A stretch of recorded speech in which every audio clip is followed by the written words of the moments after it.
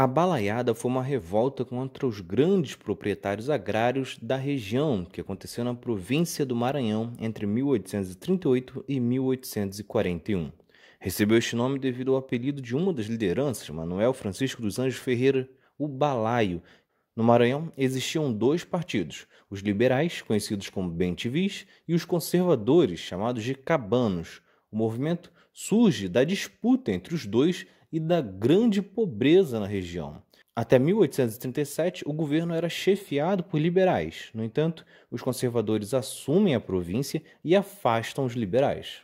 Os liberais então apoiam a revolta no começo, mas devido aos interesses da elite da região, tanto os bentivis, né, os liberais, quanto os cabanos, os conservadores, se unem contra os balaios, né, os revoltosos. Na época, a sociedade estava dividida em uma classe baixa, composta por escravos e sertanejos, e uma classe alta, de proprietários rurais e comerciantes. Os principais motivos para a revolta eram as condições de miséria que a população vivia e também a forte opressão a qual era submetida.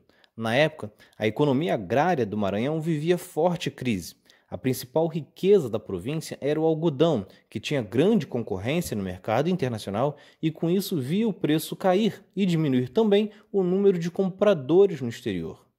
Os maus tratos e a escravidão também motivaram as camadas sociais mais pobres a lutar contra injustiças. Os principais líderes eram Manuel Francisco dos Anjos Ferreira, um fazedor de balaios, Cosme Bento das Chagas, chefe de um quilombo que reunia mais de 3 mil negros, e Raimundo Gomes, vaqueiro. Os principais objetivos eram acabar com o domínio político das elites aristocráticas e aumentar o acesso às instituições básicas, superando as limitações impostas pelas elites. No movimento, fundaram o jornal Bem TV, que difundia ideais republicanos. O grande objetivo era organizar o movimento contra os grandes proprietários. Nas camadas mais pobres, surge quando, ao ter o irmão detido, o vaqueiro Raimundo Gomes se junta a amigos e ataca a cadeia pública da Vila da Manga, libertando todos os prisioneiros em 13 de dezembro de 1938, além de se apossar de um grande número de armas e munições.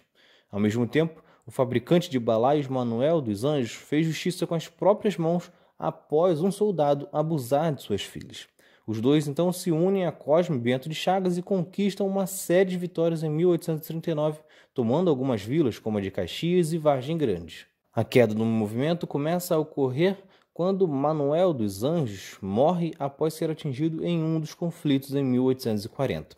Ao mesmo tempo, o governo chama Luiz Alves de Lima e Silva, que depois viria a ser conhecido como Duque de Caxias, para ser presidente da província e, ao mesmo tempo, acabar com a revolta.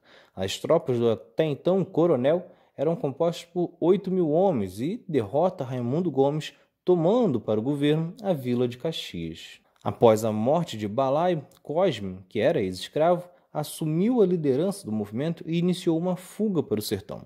Daí em diante, a revolta foi perdendo força até que em 1840 um grande número de balaios se rendeu após uma concessão de anistia. Foram cerca de 2.500 balaios, inviabilizando assim o exército da revolta. Após a rendição completa dos balaios, Cosme foi enforcado. Já Raimundo Gomes é expulso da província e morre a caminho de São Paulo. Esta, portanto, é mais uma revolta que dá para ver claramente a desigualdade na aplicação das leis.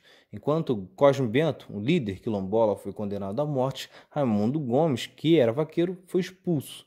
Já Luiz Alves de Lima e Silva, que simplesmente acabou com uma revolta que buscava condições melhores de vida, foi premiado com o título de Barão de Caxias.